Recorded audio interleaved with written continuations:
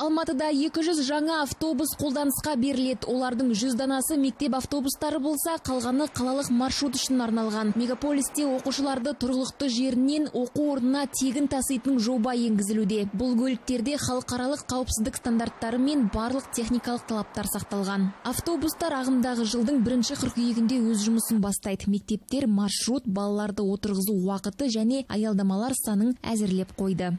Бұл жерде үш жаңағы түрлі автобустар тұр. Біреуі жаңағы голден драгон 18 метрлік үлкендігі. Екіншісі 10 метрлік. Үшіншісі жаңа мектеп оқушылардың қызмет көрсету. Соларды таңертең мектепке алып келу кешке түстен кейін мектептен алып барып тасу үшін сондай 100 автобус алынды. Сонымен қатар қалалық парктің жылжымалы бірліктері де жаңартылды. 10 метрлік автобустар таза қаланы дамыту тұжырымдамасы аясында дизельді автобустарды алмастырмақ. бұл автобустар жаңа 18 метрлік магистралды дейді ғой бізде. Адамдар өте көп шоғырланған адамдар көп жүретін сол көшелерге қойылады осы жақын күндері. Ә, ол мына мысалы үшін әл фарабиде бізде 38 деген маршрут жүреді. Рысқұловың бойында 38 а деген болады олар осы. Сол екі маршрутқа 20-20-дан 40 автобус кетеді 37 маршрут деген бар білесіздер.